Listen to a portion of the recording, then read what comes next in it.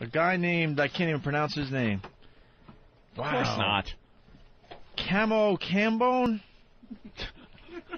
It's a cartoon character. I swear to God. Stop it. President of Black Beneficent Books on C-SPAN. Camo Campbell, have you heard? what the hell name that is? That's how he spelled it out for me. Camo, C-A-M-M-O, right? Yeah. Oh, camo as in camouflage. Maybe. And Yeah. then Ah. Kambon. And he was on, um, uh, I don't know, he was, uh, he's president of Black Efficient Books on C-SPAN. And he was Yeah. talking shortly after Hurricane Katrina. Oh, that's legitimate. He had some things to say about Whitey. Let's hear Right. this. No, Steve. Well, we'll start playing it. But what I want to say is that there are two things going on on the planet now.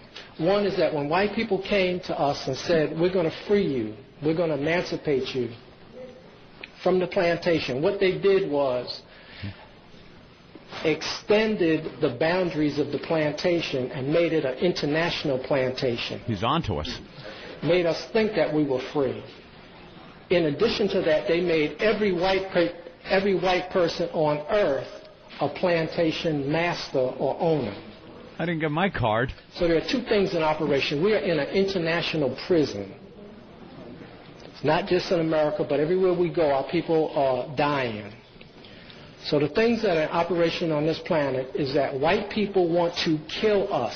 I want you to understand that. They want to kill you. And it has nothing to do with what the kind of degree you have, what kind of car you have, what kind of title you have, what fraternity you belong to, what religion you belong to. They want to kill you mm-hmm. because that is part Say of it. their plan. Mm-hmm. Say it. There are any number of for you. reasons why they want to do that. I'm not going to waste my time trying to figure out why they want to kill us. But I know that's what they want to do. And they want to do it in many different ways. Psychological, mm-hmm. economic, cultural, spiritual, social, and biological, chemical, electromagnetic. They want to kill Not you. electromagnetic. But That's they also want to make pro- make money in the process of your death. Shit. Now I saw a brother We when I was coming and he was smoking a cigarette. So now he's going to kill himself, but they're going to make money off of his death process. Thank God no one white smokes. That was talking about that was talking about AIDS right there. Was See? that the AIDS? Oh, that's the conspiracy. Yeah, That to I've make money off of killing us by Yeah. putting things in um in our like certain there's certain drinks that they only sell to us. Uh huh. You know, anything that has a lot of colors and call it, you know, funk funky dookie drink like honey child pop soda, that's trying to kill us. The Any- balls are just putting the name right there in Kool Aid is like It's cool, baby. it's like it's got AIDS. it's got the word aid right in it. cool AIDS. It's like almost AIDS. But don't you guys got your black scientists that will take all these products and take a look, make sure everything's George on the up? Washington Carver. You see what y'all made him? Y'all made him into a nut. Damn, this this goofy nigga with the peanuts. Get out of here. Other Y'all guys just are working discount on. everything we do. It, look, at I don't find. Look, first of all, Dude, we I don't, I have time, man. We just want to feed our own families. Really, you Well, work from don't- seven to eleven. You don't have time to destroy the black man. Fuck no. At twelve thirty, after you take a nap, you don't think of nothing to do. Hell no. I'm no. home. I can't even do it from my home base. We don't have enough time, man. You guys are overthinking this crap. I don't know. We're just Bill. trying to survive too. Well, you're you're low level white people. Yeah. You're like you're not on the on the uh, radar of the white people that actually doing it. All right, we're Yeah. not in one of those square states. We But he said every white guy, you know, is in the Yeah, club. every white guy. We're You all in the so? club. Hell no, man. You know, that fucking. all Whitey wants is to get laid and get a sandwich. That's uh, all we want. I, man. I we don't, don't believe have in all scenes. to I don't. I don't this give crap. white people that much credit that, that they can destroy my life unless they shoot me like somebody else. But mm-hmm. that they they can is a master plan. Yeah. But Yeah. you know, I, I I wish it was. I just wish everything. I just try to turn everything into blaming white man for some reason. Yeah, I. I I want to. It just is fun to do. is it fun for you guys? Well, because the New Orleans thing, I was arguing with Keith, you know, Yeah. Keith Robinson, and he's like, "You sell out, motherfucker." But I said, "Listen, Keith, you got to understand, Keith. I want to blame white people for Hurricane Katrina. Yeah. I just want to. But how do you? I'm like, look." Would if that was a bunch of white people in New Orleans and that happened? I mean, first of all, it's just Mother Nature was involved Right. with that. So it's like How we Mother Nature hurricanes. didn't didn't pick Yeah. the place. You Yeah. know what I'm saying? Yeah, but So- we knew that should be an area to, to put the less fortunate. I think it goes back to what we talked We about put earlier the in the black week. people there. The less fortunate, the poorer people, you give them the, the, the worst areas in your city. You get a good view in Harlem. You get a good view uptown. But but New Orleans was destroyed. A, Bourbon Street was destroyed. That was No, uh, Yeah. Bourbon Street wasn't as affected as people say. It was that Ninth Ward Yeah. there. Damn it. And the Ninth Ward was near the levees where, you know, But who put the black people there? Uh, it just The happened. black people put the black people Opie there. knows. You know, Opie, you higher on He's the cracker higher level than I am. thought. I what the- happened? Tell me, man. Let me live at least. I, I get the memo. Help- help I get him the out. memo. wow, here's a big memo. You think here's one of those big, memos would get out? Here's a big surprise. I flubbed the line. Jerry? The name of the company that the guy owns is Blacknificent Books, not Blacknificent. Oh, I'm sorry. Blacknificent. Black Blacknificent? All right, thank Like you. Jerry. Sorry about that. It's no surprise that I flubbed the line, though. All right, want to do a little more of this guy? This guy's angry. The other thing is that they want us to, if they don't kill us, like they tried to kill the brother by beating him up in New Orleans, if they don't kill us that way, or shooting like they killed the brother in Cincinnati, or like they killed Malice Green mm-hmm. in Detroit, mm-hmm. or like they killed Greenwich up in Pittsburgh, Yeah. if they don't come out right and kill us straight, they want to get us to kill ourselves. Now, these are the only two operations on the planet. That's right. The other thing is that there's only one nigger on the planet. I never use that word. This is the first time I've used it. I don't even think that word. But there's only one nigger on the planet. And the nigger that's on the planet is the one that is destroying the water, the one that's polluting the air, the one that is exploiting people and resources. And the only nigger on the planet is the white man and the white woman. And then our people are not niggers. We are imitation niggers. Imita- what? The, Who the what? I don't the- even know what that means. Shut up, nigga. I know. Shut the fuck. You know, you two I niggas, shut your fucking niggery mouths, you, You know, two coons. we can say that. You can't. That's right. You don't understand the struggle. You know. We've been through. Wow, this guy is really turning some shit around. Wow, how do you turn that around? nigga, shut up. You know how you turn it around? how the hell do you turn that Shut your one ass up, porch monkey. Keep Wow. your fucking nigga mouth shut. I- this guy's brilliant. I give the guy a lot of credit, but I don't see that catching on. Genius. well, yeah. Genius. I don't see that one catching on. Uh, wow.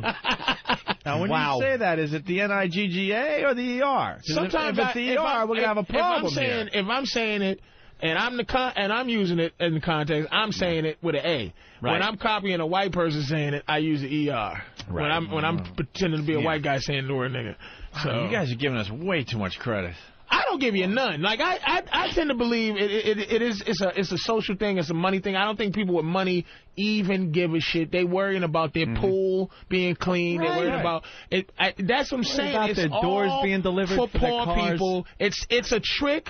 Racism is a trick against poor white people. It's to keep them focused that they should be a certain level in life because they're mm. white, and it's the niggas' fault. And the white people that want to keep everything to themselves, make they have to keep poor white people thinking that they should be like something just because they're white. More entitled. More entitlement. All right, we're running out of show. One more clip from this guy. We need one idea. And we're not thinking about a solution to the problem. We're dealing with all these other things, but these are diversions from the solution to the problem. And we have to start to think about a solution to the problem so that these young brothers and sisters who are here now, who are 15, 16, and 17, mm-hmm. are not here 25 years later talking about these same problems. Now, how do I know that the white people know that we are going to come up with a solution to the problem? I know it because they have retina scans, they have what they call racial profiling, DNA banks, and they're monitoring our people to try to prevent the one person from coming up with the one idea. And the one idea is how we are going to exterminate white people because that, in my estimation, is the only conclusion I have come to. We Wow. have to exterminate white people off of the face of the planet to solve this problem. That gets an applause break. I don't care whether you clap or not, but I'm saying to you that we need to solve this problem because they are going to kill us. And I will leave on that. So That's we a have to bold just set up our own system and stop playing and get very serious and not be diverted from coming up with a solution to the problem. And the problem on the planet is white people. Hmm. Wow. Now, what you dead niggas got to say about that? you niggas are finished. Oh man, that guy's scary though. Mm. Like he's talking like he's reasonable. I'll tell you why he's scary to. He'll be scary to all white people because he's Yeah. not sounding. He's not all. And we all Right. read that, brother. He's talking all said, reasonable. Oh shit, we gonna kill a number Yeah. motherfucking hunky. He's saying, you know, uh, we must exterminate white people. Can I have one of those delicious cream puffs over there? And now I will explain why we must exterminate. He's all rational. I have my ten point plan. this guy's like fucking organized. I like how he got an applause break. For What the, would you? Uh, what would your people do if all of a sudden there was no white people on the earth? What would be the first we thing? kill each other, man. It's, what it's what like would be that. the first thing you guys would do or take? Lighter black if we people if would we be just the enemy. if if we just went yeah we if white people just disappeared I don't know. Because it's such a for this country I don't know about the rest of the world but for this country if black people disappeared or if white people disappeared both of us we coexist in that plane. We need each Yeah. other to fuel that kind of hatred we have for each other. It's such a vague blind hatred that we love to have. I love not liking white people it's fun You like white you people? niggas make me sick.